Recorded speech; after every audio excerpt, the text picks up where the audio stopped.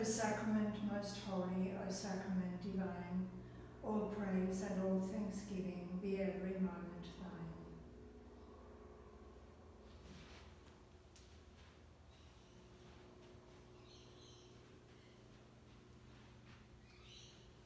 Today is the feast of Corpus Christi, the feast of the body and blood of Christ. So here in the presence of the Blessed Eucharist, I want to share with you words from Father Kentenich. He spoke many times about the Eucharist, about the need to receive the Eucharist often. Whoever eats my flesh and drinks my blood will have eternal life. A few weeks ago, on Good Shepherd Sunday, we reflected on the Good Shepherd, and in this following extract from a homily in Milwaukee, Father connects the task of the Good Shepherd with the Eucharist he said. I think we should now show how Christ continues his task as a shepherd in a mysterious way here on the altar in the Eucharist, and how he wants to continue it until the end of time, until the end of the world. Two questions involuntarily present themselves to us. The first is, how can we describe our Lord's task as a shepherd in the sacrament of the altar? And the second question is, what does his work as a shepherd require of us, his flock? We all know what can be said on both points, and yet we don't know it. There are so many things we know and yet don't know. This is because they do not enter into our hearts, they do not influence our everyday lives. This is true of the first question. How can we describe our Lord's activity as shepherd? We want to learn the answer. We learnt the answer at school. If we think of the various formulations of the Second Vatican Council, for example, it's always the same. Our Lord continues his work as shepherd on the altar by remaining constantly with his flock. He gives us his presence.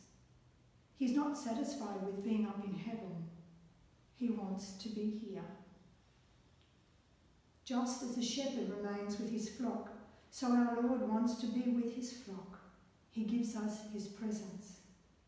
However, this does not satisfy him. He gives us himself. He wants us to enjoy his own flesh and blood. The Good Shepherd cares for his sheep. He leads them to good pastures. This good pasture to which he leads us, the food we receive from our Good Shepherd, is the flesh and blood of that Good Shepherd. Finally, he offers himself up to the Father day after day on the altar, so that the Father may look down with pleasure on his parish, his flock. Let us think, first of all, of his presence. Our Lord is constantly with us. We are his flock. He wants to be with us, his flock. Everyone should have an opportunity to come to him. How is he with us? In three ways. Firstly, with infinite humility. We have heard those words from St. Paul. He emptied himself it was as though he left the Heavenly Father's throne behind. He became a human being. He lay in the crib as a human being. He hung on the cross as a human being. That is how much he lowered himself. Yet, even this was not enough for him. He took on the form of bread. He emptied himself. That is how profoundly humbling, humble he is. Secondly, he is present here with infinite gentleness. Think of all he has to put up with us. Since he came down to be with us, we, his flock, should also be with him.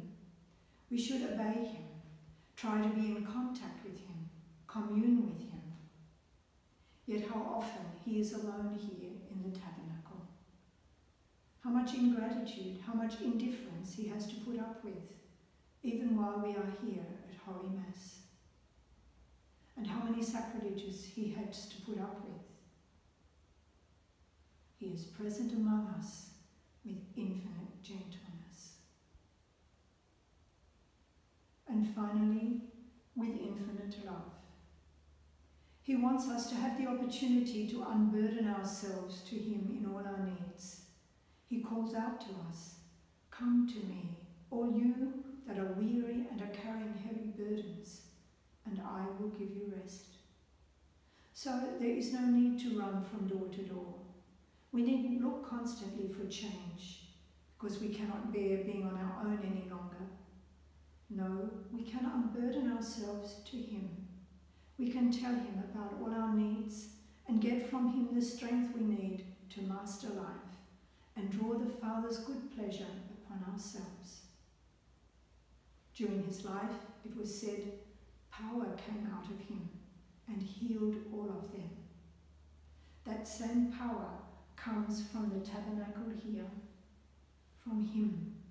If we only gather around him with deep faith as his flock, making him the centre of our lives, our helper in all our difficulties, and the centre of our lives. This is how we describe our Lord's work as shepherd here in the tabernacle.